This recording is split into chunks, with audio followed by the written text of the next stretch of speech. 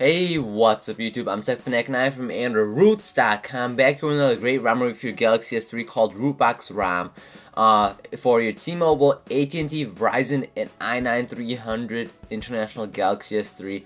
So you can get almost every, all of them except for Sprint Galaxy S3. It'll work. So it's big, big bonus. Very compatible with a lot of devices. Uh, links down below if you want to check out this ROM. I'll tell you right now in the beginning of the video because you guys usually ask, uh, where's the ROM or whatever, you know. So down below.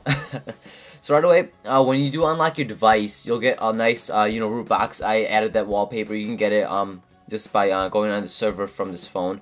Um, but you you can add shortcuts. So I added Chrome, which was my web browser, my daily web browser, and Camera 4.2. But you have the option to add another one uh, that to turn off. But you have an unlock right there, and you have another shortcut right there if you want to add that. So which is a really nice feature. Uh, you can get a lot more shortcuts, a lot faster, and it, was, it does remind me of the st uh, stock TouchWiz Galaxy S3 uh, shortcuts at the bottom uh, that you may have noticed when you first got your Galaxy S3. Uh, you are running on 4.2.1, so let's go ahead and jump into settings and about phone, and you're on 4.2.1, which is great, almost the latest version, almost, you know, a little bit off, but uh, no, no performance issues, nothing like that. You're gonna get a great phone, very speedy, speedy. Um, but um, right now I want to show you you have ROM control, themes, performance control, which is I love performance control, and device options. And then with your rootbox features, which is why I really want to show this ROM is First, you have your AOKP features, right? You have your ROM control, and here is all your AOKP. As you can see right there, it is AOKP. Uh, let's just go into general UI, which I usually go, and then we'll go at the bottom. You got 180 uh, 180 degree rotation, so you can rotate it all the way around, which is really nice, and I find it very useful for the Nexus 4. and alright, when I do have my Nexus 4, uh, enable kill all, I love that for multi uh, multitasking, so you just have to kill all right there, you just swipe them all the way, which is really nice. Love that. Uh, you can check out your recent RAM which is really nice. I love that too. Those are like my top three favorite features probably uh, for AOKP. Um, so you have a lot of other AOKP features that I've probably shown you in a lot of the videos, especially for the Galaxy Nexus. I believe I did a video on that. If you want to check out more in-depth of AOKP, go ahead and check out the Galaxy Nexus. You can get the same features and same performance for the AOKP part. But in this video, we're going to be talking more about the root box and more of that features. And one of my favorite features is the Pie control. Yes, this does come with Pie control which is so sweet. So let's go ahead and rotate that and you can see it does have Pie control which is really really nice. I love it. um, um, very very useful. Uh, one thing I will say, it's not practical for Galaxy S3. Now, if you have a Pie control on your Galaxy Nexus, Nexus 4, Nexus 7, Nexus 10, a pure Android device that has um, software navigation keys, that's going to be very useful. But for Galaxy S3, you already have your home button, which is physical, your options, and your, uh, I believe, back button too, right there. So it's not very practical for that. Uh, for Galaxy S3, it's still very fun to use, and you show off your friends, you know? you get to show it off so which is very very nice. So you have all that and I love it. I set it to the um, right side. You can set it to the bottom left and I believe top too if you want to.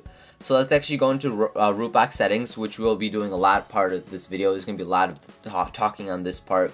So Pie control like I said earlier you got Pie color settings. So you can actually change the color for each uh, thing. So clock color and all that. I actually left it alone. I didn't mess with it. I was like you know what? Because you guys usually want to see the default you know settings um, I'm, I'm assuming so. uh, but you got Pie controls if you want to enable it or disable it. Um, let's actually select the location. So right now it's on the right, but you have bottom, top, and left. So it does have top, like I mentioned earlier, which I wasn't that too sure of. Uh, you got the size, which I did large, not gigantic, but large, so it's much easier to access. Does it work even here? Yes, it does. It's in the background. You probably can't see that. Uh, but let's go and cancel that. But you got options right here, as you can see, which is really yeah, so those Pie controls are very useful, you know, if you want to navigate very quickly, um, if you do prefer that. So let's go ahead and try it. Um, actually did, there you go. So you have search, um, multitasking, home, and back. So all of them are very useful. So you got all that right there. Very fun to use, and if you don't like moving your fingers up and down, you know, it's very uh, easy access to uh, go to your home button, navigation, all that, while actually moving your finger back and forth, especially if you have small hands. So that's a very nice, useful feature but more practical on a pure Nexus device uh, by Google and um, software navigation keys. Let's actually go back into Rootbox and see a couple other um, features. So let's, let's deny that Rootbox settings right here.